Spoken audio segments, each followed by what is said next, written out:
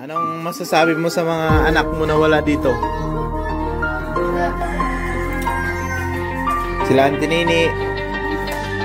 Anong, min anong mensahe mo sa kanila? Ha? Wala? Hindi mo sila namimiss? Ha?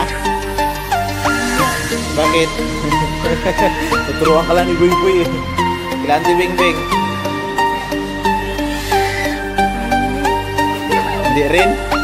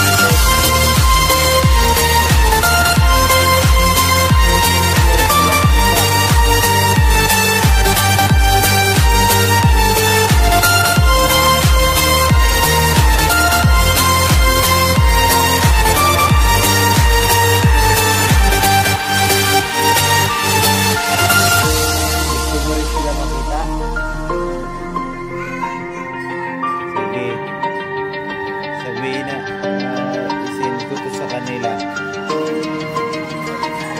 Malayo.